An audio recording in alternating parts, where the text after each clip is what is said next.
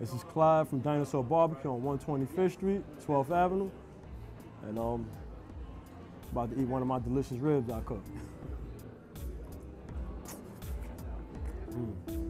Been here in Harlem, know what I'm saying, all my life. Started off here as a dishwasher worker and a manager came to me and told me he think I'd be a perfect candidate to come work in the pit. And then my life took off ever since after that. Some days, you know what I'm saying, it's harder than others. Like summertime come around, it gets really hot, and you be in that pit, you gotta go in there and do what you gotta do. Get the product in and out. Oh, we do about um, about about 300 pounds of ribs. On a busy day, we might match that about four, five, you know what I'm saying, 100 pounds of ribs. Roughly about 450 pounds of wings a day. You know, it's a hard job up in there. These are my scars. You know, burning down that grill and everything like that. Alec Baldwin came around here. I ran into him and whatnot. Showed him the back of the pits and everything like that. I know Michelle Obama, she came in here she ate the food.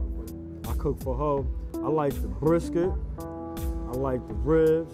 Hey, I ain't gonna lie, I like all the stuff that come out the smoke, out the smoke pit. I like all that because um, it just got a different different taste. You don't get nowhere else. Like, you know, ever since they brought me up in there, I, I gotta get a little bit here and there every, every, every time I can get a chance, you know, man.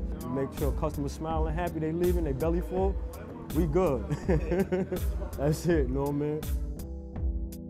I'm proud of myself, I'm proud of what I do. I came a long way, and I, even though know, I may not be seen, I know I'm deeply appreciated, and that's all I look for.